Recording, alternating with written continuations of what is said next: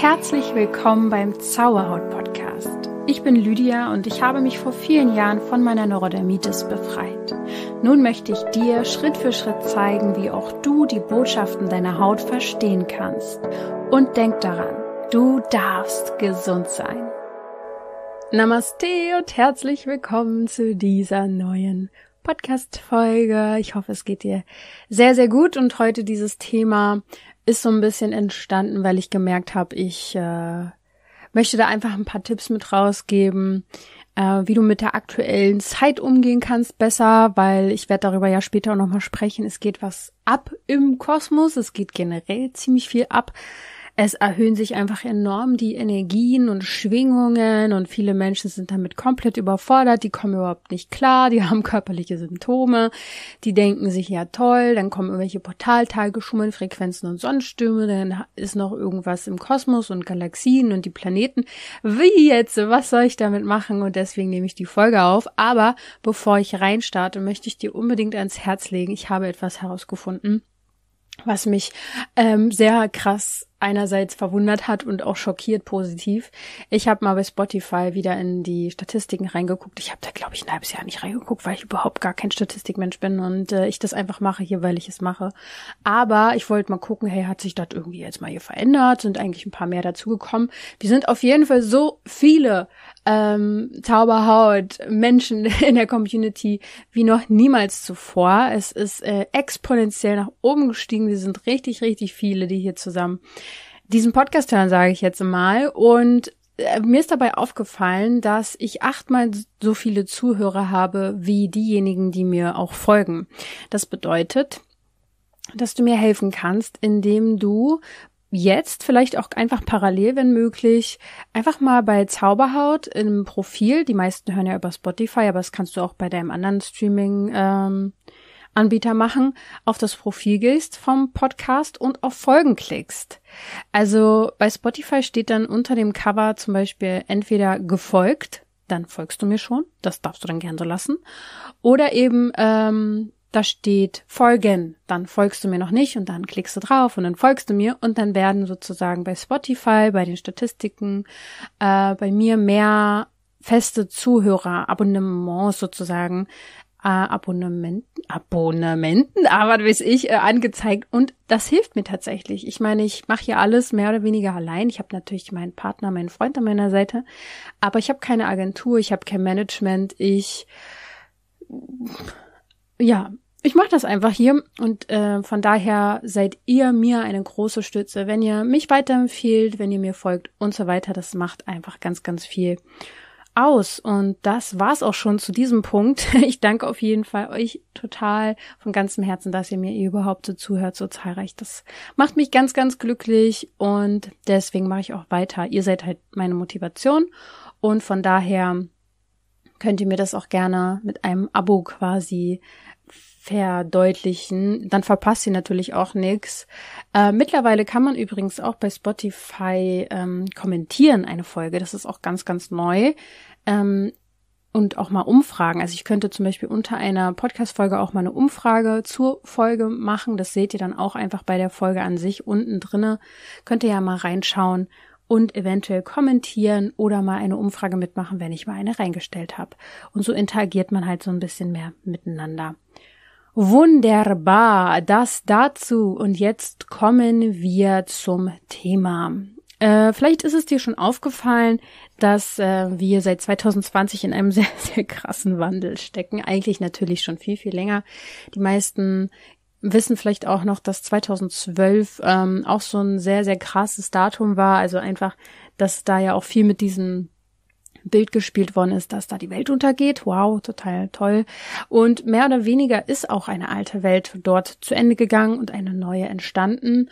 Und soweit wie ich das mitbekommen und verstanden habe, erhöhen sich eben die Schwingungen der Erde peu à peu immer mehr. Das heißt auch auf der anderen Seite, dass sich das Bewusstsein erhöht. Also die Schwingung hat einen Einfluss darauf, dass wir wach werden, dass wir aufwachen, dass wir äh, eben mh, mm, nicht mehr also dass, dass es immer mehr Menschen gibt, die realisieren, dass es nicht nur Materie gibt. Und das ist was Wundervolles, aber auf der anderen Seite kann das auch total anstrengend werden, weil das bedeutet, dass ähm, um höher schwingen zu können, müssen wir Altes loslassen. Und diese ganzen toxischen und alten Gewohnheiten und Muster und Strukturen, die auch im ganzen System auf der ganzen Welt vorherrschen, die werden alle aufgerüttelt und die werden gesprengt, die werden teilweise ja, ähm, aufgedeckt. Es kommen viele schreckliche Wahrheiten ans Licht. Ähm, und das sind natürlich Prozesse, die nicht unbedingt angenehm sind, aber auf der anderen Seite müssen sie auch nicht unangenehm sein. Was ich damit meine, da werde ich heute ein bisschen drüber sprechen. Und ich möchte mich halt heute darauf beziehen, was mit sogenannten Sonnenstürmen gemeint ist und mit Schumann-Frequenzen. Darüber habe ich natürlich schon mal eine Podcast-Folge gemacht. Ähm, die werde ich nachher auch nochmal erwähnen, aber ich will heute darauf eingehen, wenn diese Stürme und Frequenzen sind, wie können wir denn damit umgehen? Weil wenn wir dagegen uns wehren, also das hat, oh Mann, okay, wo fange ich an? Also auf der einen Seite dieses sich dagegen wehren ist natürlich sinnlos. Es ist genauso sinnlos wie sich gegen dem, gegen das Wetter zu strotzen und dagegen zu sein. Und Widerstand ist extrem kräftezehrend. Auf der anderen Seite finde ich es auch spannend, wenn man gar nicht darüber Bescheid weiß, dass es Sonnenstürme gibt, dass es erhöhte Frequenzen gibt. Dann ähm, hat man vielleicht Symptome, Kopfschmerzen, man fühlt sich irgendwie seltsam oder hat verrückte Träume und man bezieht es total auf sich und denkt, irgendwas habe ich falsch gemacht, irgendwas ist hier gerade wieder bei mir los. Und es hilft sozusagen äh, zu wissen, wann ein Sonnensturm ist oder eine Schumann-Frequenz erhöht ist, um sich einordnen zu können. Und seitdem ich darüber auch offen spreche und vor allem auch bei Instagram sehr, sehr oft rede, also da bin ich immer aktuell sozusagen am Start und gebe euch Energie-Updates und sage euch, hey, das ist gerade los, ähm, auch mit Planetenkonstellationen und so weiter und so fort. Wundert euch nicht, wenn ihr gerade das und das fühlt und spürt. Und äh, die Resonanz von euch oder die Rückmeldung von euch sind immer sehr, sehr dankbar, weil sie ähm, sich verstanden fühlen und ähm, weil sie anfangen, aha, okay, äh, ich bin nicht unbedingt schuld daran, auf der ersten Ebene, es ist noch was Höheres, was da ist. Und auf der zweiten Ebene, ach, jetzt weiß ich, dass das ist, jetzt kann ich damit umgehen, jetzt weiß ich, was ich tun kann. Und diesen zweiten Punkt will ich heute noch mal ein bisschen mehr ausbauen, dass wir nochmal genau hingucken, ja, was können wir denn jetzt wirklich machen? Deswegen spreche ich heute mit dir darüber, was Sonnenstürme und Schumann-Frequenzen sind. Das werde ich nur nochmal kurz zusammenfassen, damit dir das auch nochmal klar wird. Dann, was das äh, Wissen über diese kosmischen Energien ähm, mit dir machen kann, aber dass das nicht ausreicht, ist hoffentlich klar. Wir wollen wirklich genau darauf eingehen, wie du damit dann umgehen kannst, was du präventiv vielleicht tun kannst und ganz akut in solchen Momenten, wenn du merkst, oh mein Gott, das haut mich total um. Und ja, letztendlich möchte ich dir Tipps mit auf den Weg geben, wie du dein eigenes Energiefeld stärken kannst, denn das ist es, was wir brauchen, um damit klarzukommen. Und dass jetzt diese Höhen und Tiefen und diese Wandlungsenergien abgehen, das ist äh, jetzt nicht übermorgen fertig, das wird die nächsten Jahre weitergehen und das wird wahrscheinlich immer krasser werden. Von daher äh, möchte ich euch damit gar keine Angst machen, sondern euch darauf vorbereiten, dass wir auf diese zukünftige Zeit ähm, eingehen können, dass wir quasi lernen, wie wir auf den Wellen surfen können. Wenn wir das nicht lernen, dann werden wir von den Wellen umgeworfen. Wenn wir aber lernen, die zu surfen, dann macht es Spaß. So, das war doch ein super Bild. Und von daher lasst uns einsteigen und erstmal nochmal ganz kurz für alle, die es vielleicht auch noch nicht wissen, darauf eingehen, was sind denn jetzt diese kosmischen Energien? Wovon redet diese Frau? Was will sie von mir? Also, ich kann dir auf jeden Fall schon mal sagen, dass es vor allem sensible Menschen spüren, wenn es energetische Veränderungen gibt, aber wir alle davon betroffen sind, mehr oder weniger. Aber es gibt natürlich die feinfühligen Menschen, die das noch stärker wahrnehmen weil sie vielleicht auch mehr verbunden sind. Und viele, die gar nicht angebunden sind und äh, komplett vielleicht auch betäubt sind von vielen ähm, toxischen Stoffen, Drogen, wie auch immer, naja, die spüren es dann anders, aber vielleicht nicht so wie wir. Ich gehe mal davon aus, dass wir hier hauptsächlich Sensibelchen sind, die hier den Podcast hören. Ähm, genau, also Es gibt Portaltage, es gibt Sonnenstürme, es gibt Schumann-Frequenzen und wahrscheinlich noch viele andere Sachen, von denen ich noch nichts mal weiß, von nicht mal irgendwas weiß, aber davon überhaupt erstmal gehört zu haben, ist gut, denn dadurch kannst du nachvollziehen, warum dein Geist oder der Körper gerade eventuell gewisse Symptome von sich lässt. Ähm, wie gesagt, wenn du dann nicht so ganz auf dem Schirm hast, wann sowas stattfindet, folg mir auf jeden Fall bei Instagram, weil ich kläre da ganz aktuell dann immer drüber auf. Und wenn du das noch nicht kennst, würde ich dir wirklich empfehlen, also Sonnenstürme und Portaltage mal in die Podcast-Folge hineinzuhören, die so heißt auch, also Portaltage, Schumann-Frequenzen und Sonnenstürme, weil da äh, erkläre ich das nochmal ganz, ganz genau, was das eigentlich ist.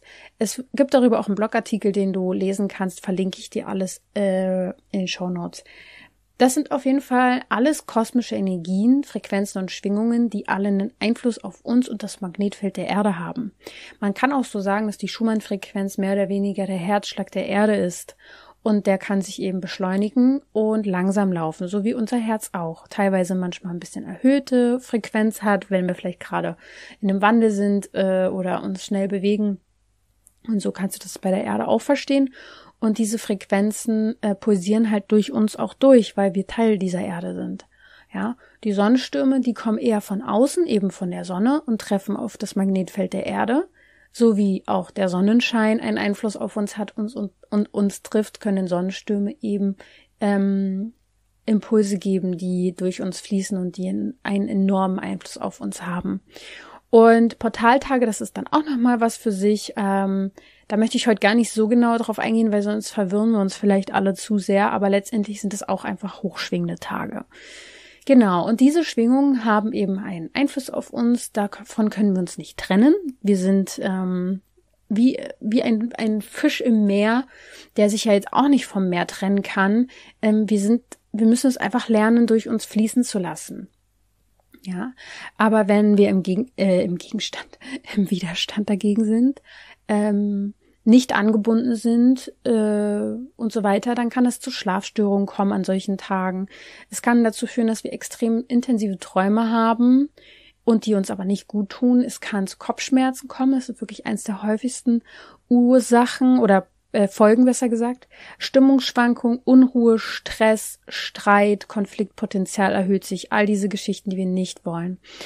So, mh, mm, das kannst du dir nämlich auch so vorstellen, wenn du dich jetzt gerade fragst, wie das bitte gehen soll, dass die Sonne tatsächlich sowas wie ein Sturm hat und äh, dieser prasselt quasi auf die Erde. Also die, mh, mm, wenn, wenn ein Sturm kommt, der Wind und die ganze Energie und die Kraft, die sozusagen wie eine, wie eine, wenn kochendes Wasser ist und die Blubberblasen platzen.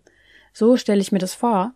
Ich bin jetzt natürlich auch keine äh, Wissenschaftlerin, die das jetzt ganz genau weiß, aber so stelle ich mir das vor und das trifft dann, also diese Welle trifft dann sozusagen auf die Erde und das verändert die Frequenz und eben unsere mh, mm, Wahrnehmung. So.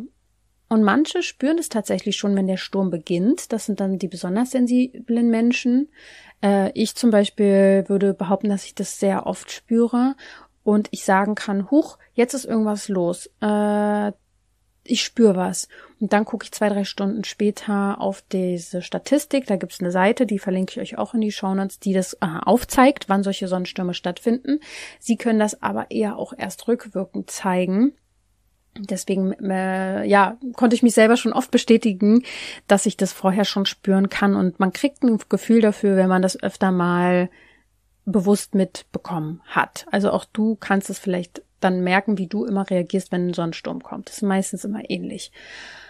Und äh, ja, manche spüren eben schon, wenn der Sturm startet, andere erst, wenn äh, er auf die Erde kommt, äh, trifft sozusagen, oder manche dann im Nachhall. Ähm, ja.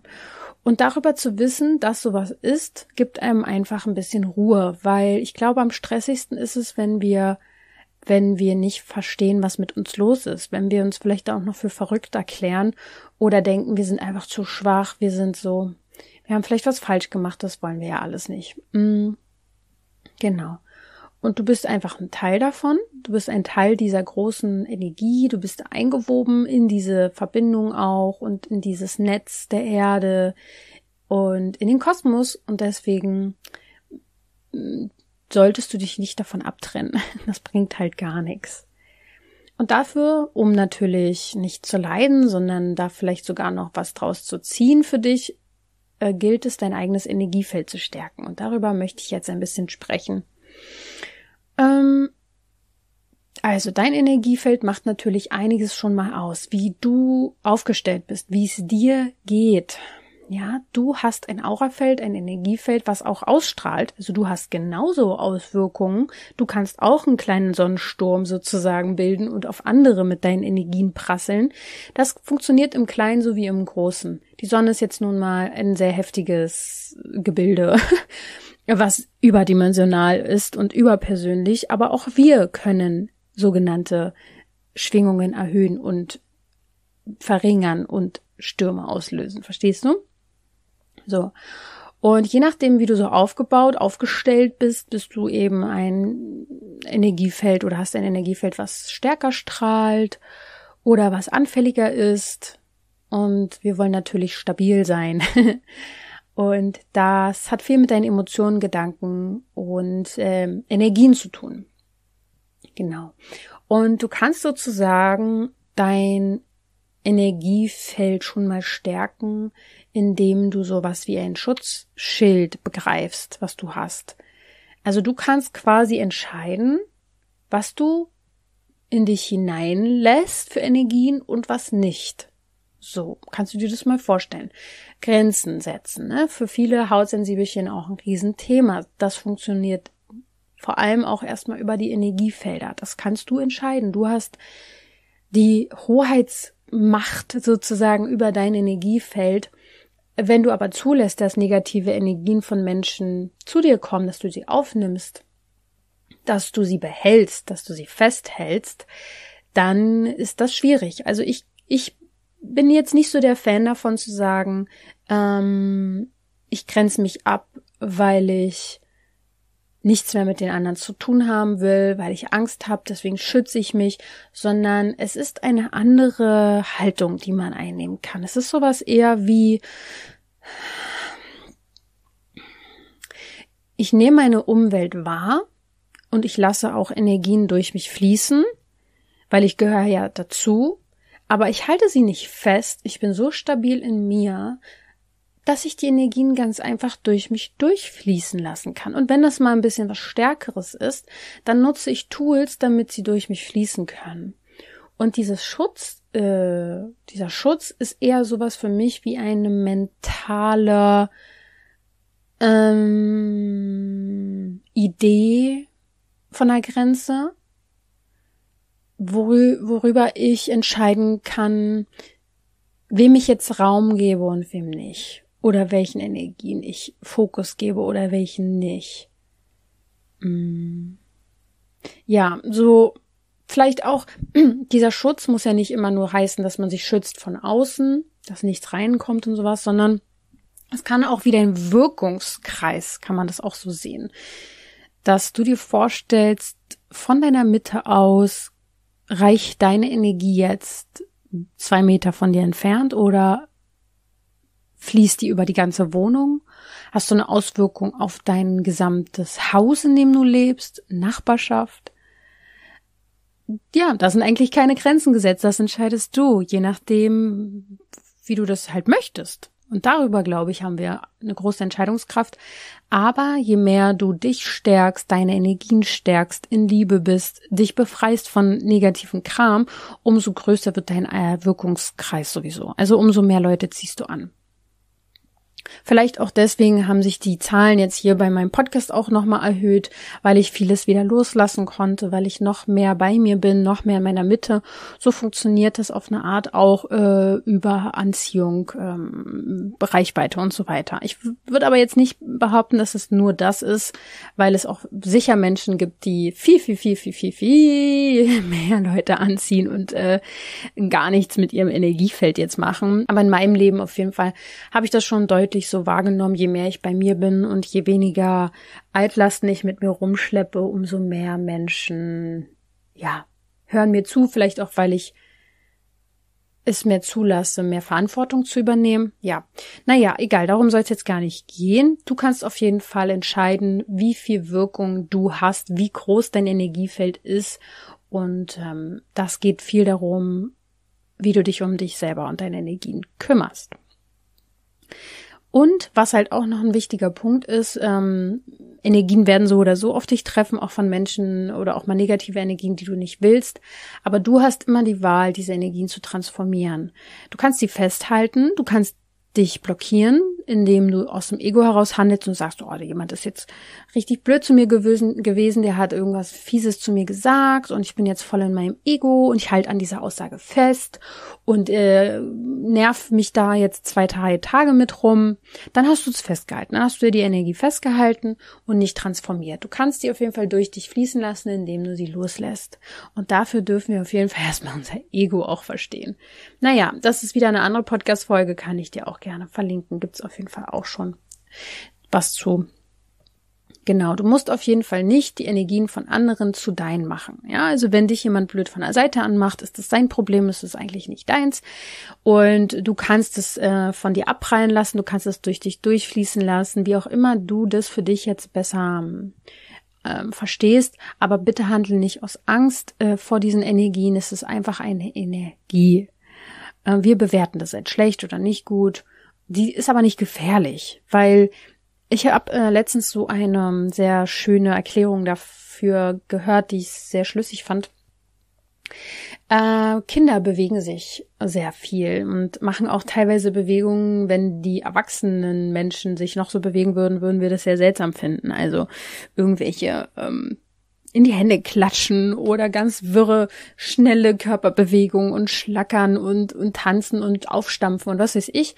Aber ich glaube, dass das sehr natürliche Bewegungen sind, um Energien fließen las zu lassen und Emotionen fließen zu lassen und wir das abtrainiert bekommen. Stillsitzen, zuhören, nach vorne gucken, gerade sitzen, nicht bewegen.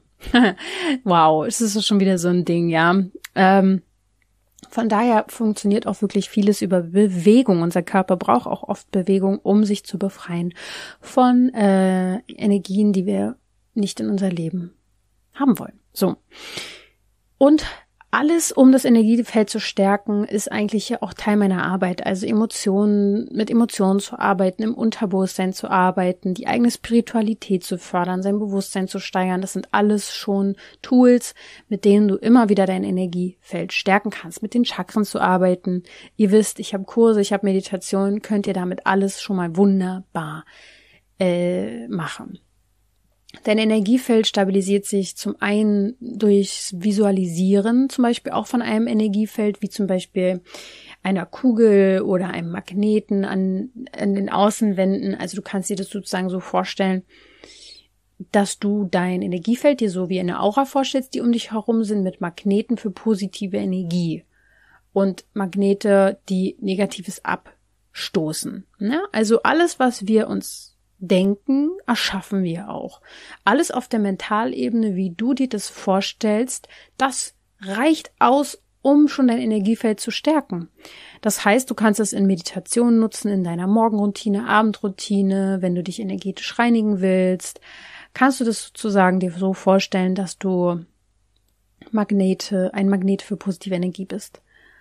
Ähm, behalte dir auf jeden Fall trotzdem immer im Hinterkopf bei, dass wir nichts wegmachen müssen oder dass äh, mh, hm, ja, es ist immer schwierig, so diese, diese Waage zu finden, euch zu klar zu machen, wie ihr euch natürlich reinigt und, und schützt. So eine Worte verbinden aber auch schnell dieses, dieses Angstthema damit, dass, dass es so viel Schlechtes gibt, ähm, was uns angreift oder so. Und das würde ich so gar nicht unbedingt sagen. Aber auf der anderen Seite will ich auch nicht jeden Krampf von jedem Menschen an mich ranlassen. Also es ist echt irgendwie so, irgendwie ist beides wahr. Ja, da müsst ihr vielleicht selber für euch ein bisschen reinspüren, was für euch mehr die Wahrheit ist.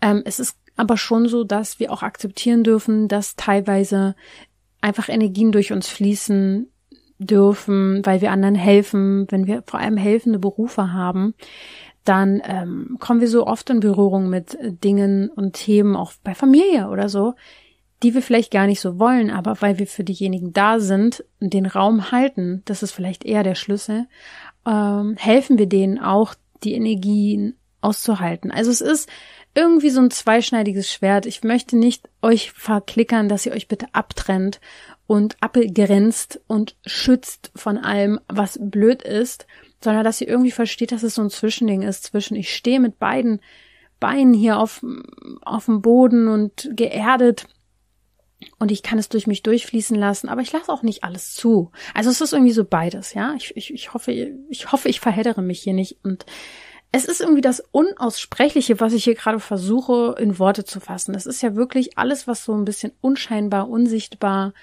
nicht greifbar ist. Das wird jetzt immer mehr Thema die nächsten Jahre.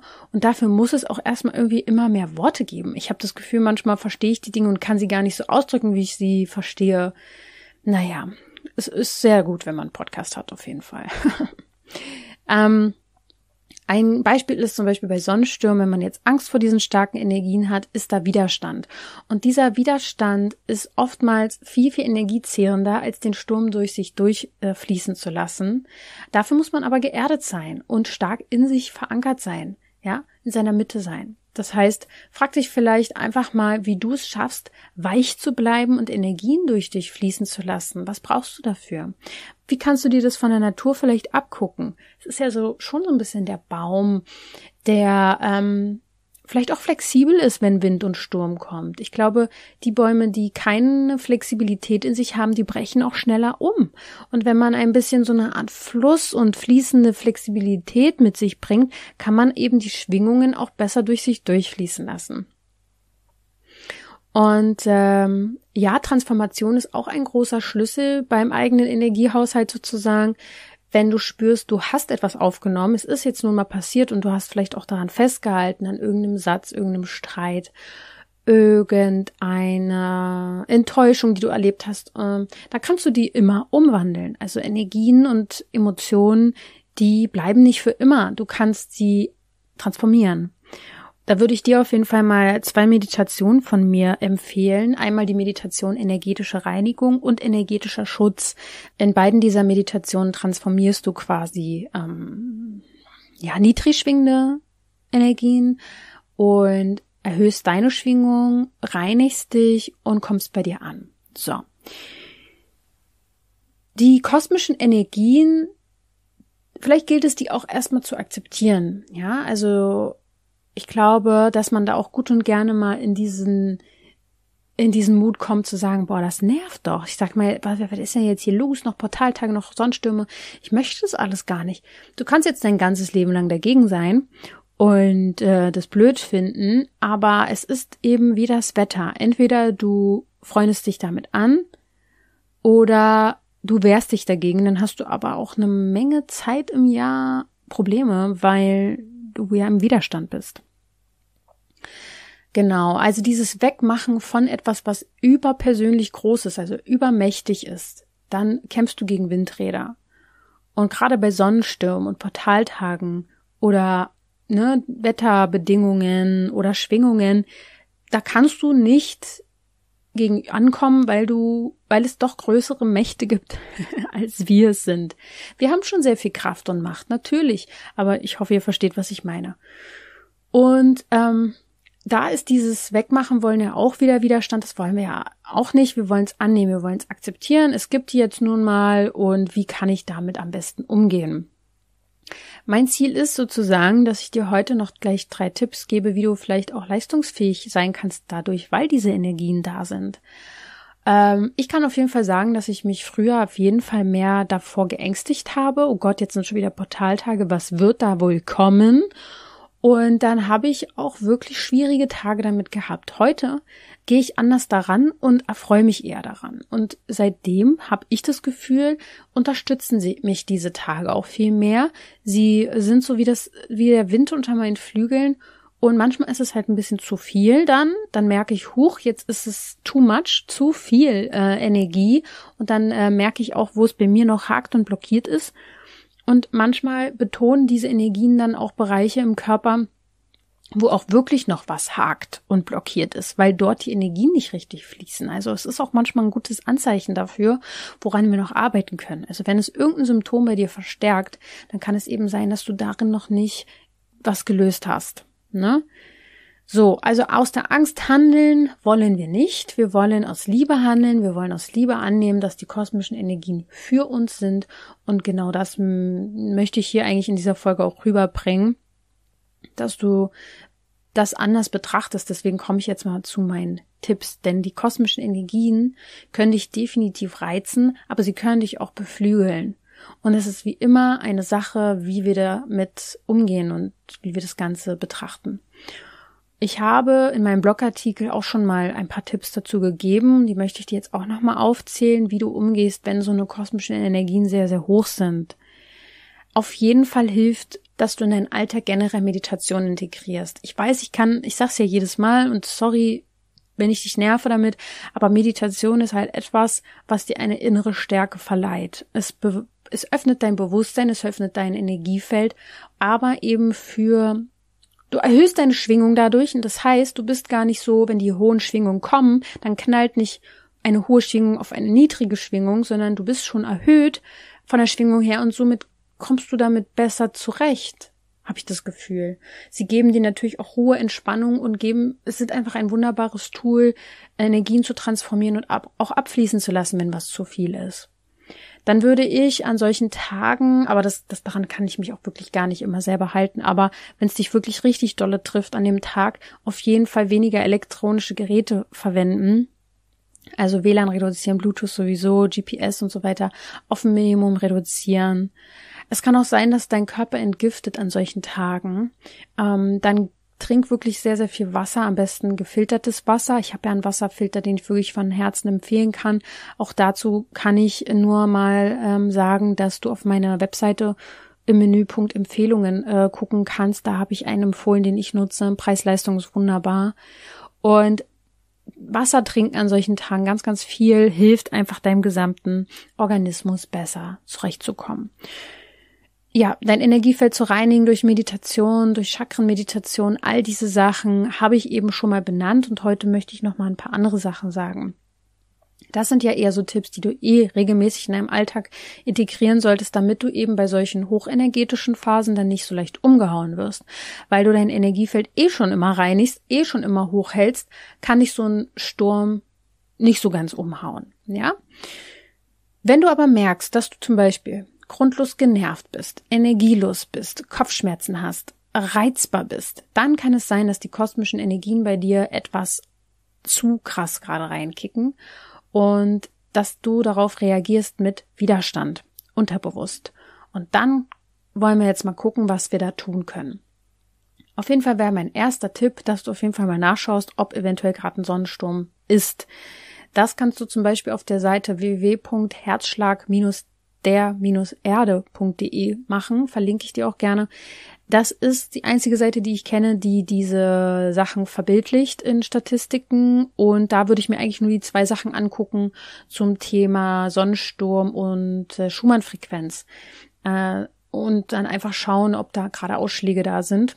Im wahrsten Sinne des Wortes Ausschläge können ja auch eine Folge davon sein, äh, wenn man ähm, ja die Energie nicht richtig in sich fließen lässt, wenn da was blockiert ist. Der nächste Schritt ist, wenn das dich wirklich komplett umhaut und du merkst, oh mein Gott, diese Energie ist gerade so stark, ich komme damit gar nicht zurecht, dann würde ich dir wirklich empfehlen, dich, wenn möglich, rauszunehmen, an dem Tag auch Termine abzusagen.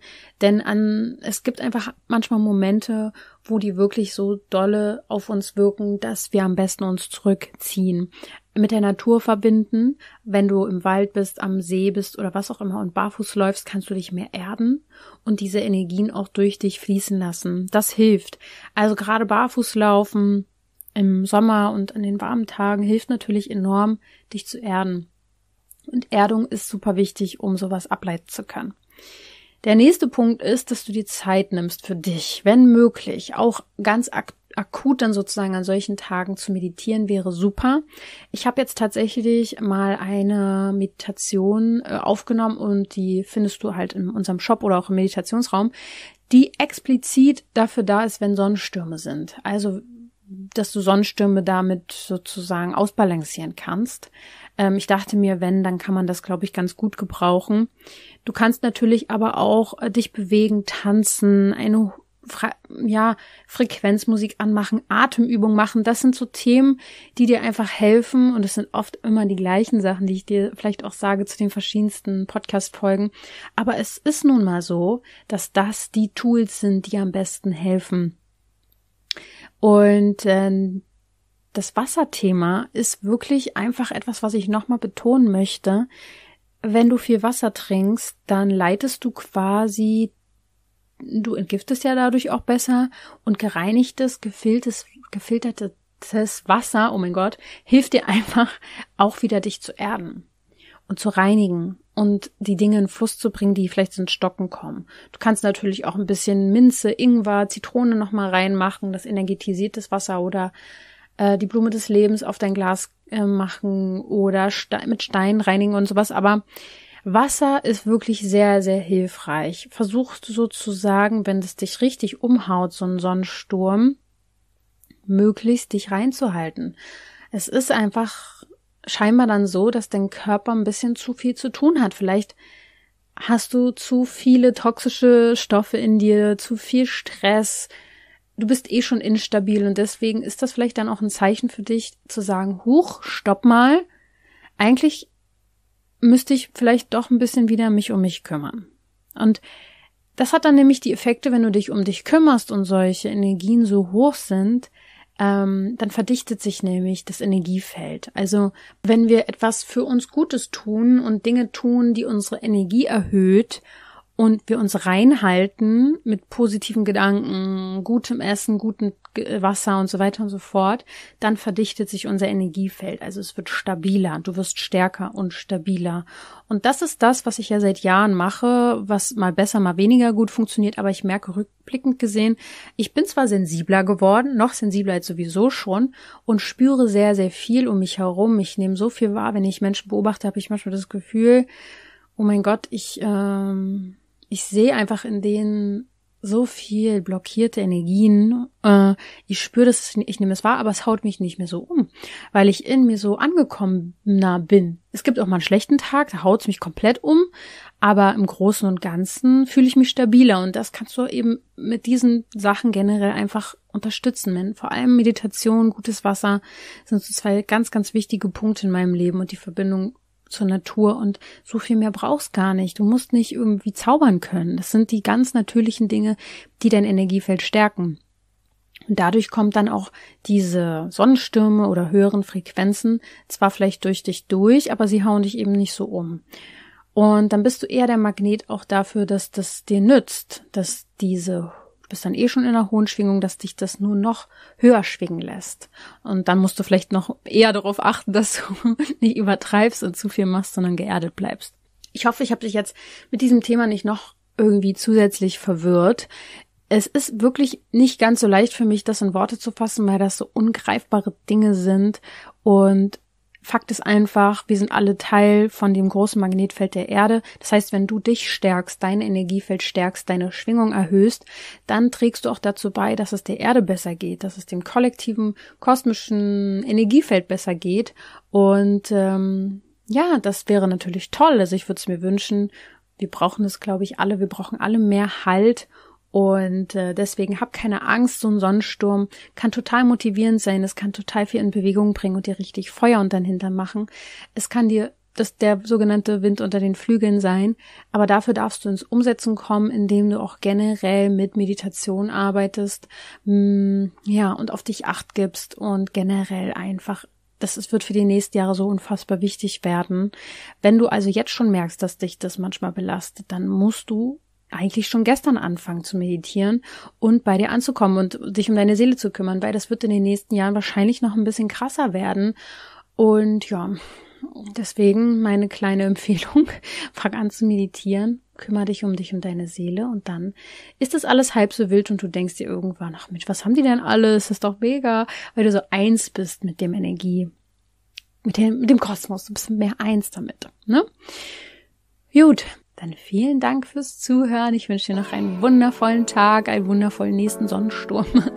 Und bis dahin denke mal daran, du darfst gesund sein.